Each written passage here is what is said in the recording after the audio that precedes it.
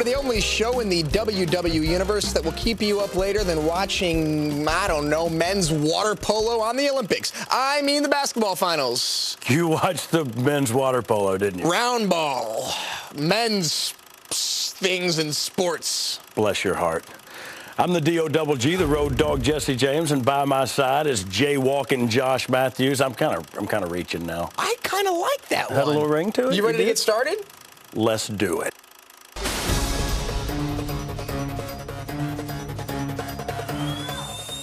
Why is Jerry Lawler dressed like a dangerous era Michael Jackson? He's the new king of pop. And here's Isaac Yankem, the king of poop. DDS? Where did he get his degree? I think the same place Patch Adams did. Patch Adams, the clown doctor? Yeah, clowns and hospitals don't mix. Vince McMahon, say hello to your ball. Hey, Vinny, how you doing? I came to make you feel better, Vinny. I sure did. Here's a rainbow for you so that you know that there are brighter days ahead. And I'm here to spread nothing but smiles, so I have this wonderful sticker for you. We'll just put it right here. Just like the Hitman's gonna be oh, screaming at SummerSlam. That was a good moniker that I forgot to get in on you. What? Josh Pettingill Matthews. I don't like that at all. We want him to suffer. We want it to hurt real bad. Okay, nothing for him, but what about for us? You know, for a dentist, he had horrible teeth. And Psycho Sid's haircut. You, don't go to a barber with a bad haircut, do you? You don't go to a, a thin chef. This contest is scheduled for one fall. Currently in the wi- ring, weighing 225 pounds from Chicago, Chris Hamrick. That guy was awesome. He was better than you. Who? That guy right there. I don't do ring announcing. Oh, well, if you had did, he would be better than you at it. A weekly Saturday night show that aired for three years on TV before becoming a weekly webcast in 2005. The show was a showcase for up and coming superstars and featured some high intensity matches from a number of young WWE hotshots. On this particular edition, Mark Jindrak and Scotty Too Hottie were facing off when Mark decided to take out Scotty with a Hurricane Rana. Gravity suddenly made a run in.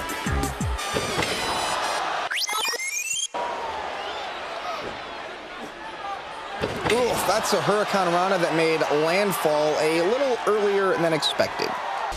Ralph, I am standing in the shadows. of what Eric is Bischoff was very liberal with the shoe polish for this interview. His hair has more oil in it than the Gulf of Mexico. Scott Norton and what's the other guy's name? Which one's Scott Norton? John Nord and Scott Norton. Scott Norton's on the left. He was the Berzerker, I think. Invitations, addresses, stamps, party.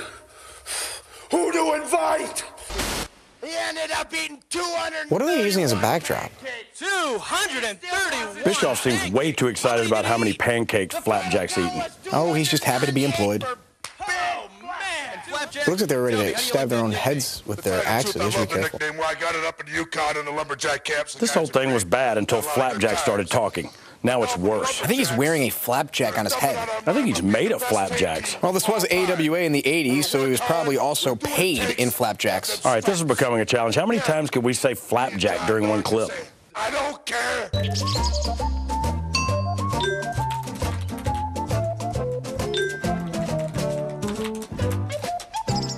The former ringside reporter, announcer, and yes, we're not making this up, even general manager, Mike Adam. How you doing, Dave?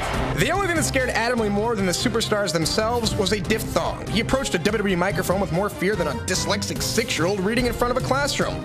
And as GM, he became known for matches known titled Adamle's Originals, which were neither clever nor original.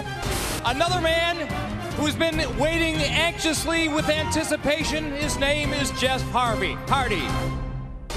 Six of Raw's greatest superstars will compete in the WWE's perhaps most bar- bar- barbaric and feared event.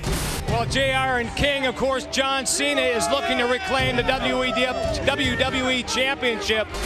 Welcome to the land of extreme. I'm Mike Adamle alongside the Taz. Glad you could join us. And we've got to give credit to Jimmy. Jimmy Wayne, yeah, for yeah. sure. Huh? You know I've tried to block this guy out of my memory, dog. You like that? You and everyone who watched ECW. We gotta stop. I can't take anymore. I am officially tapping out. But before we go, uh, you've had some time, you got a new nickname for me?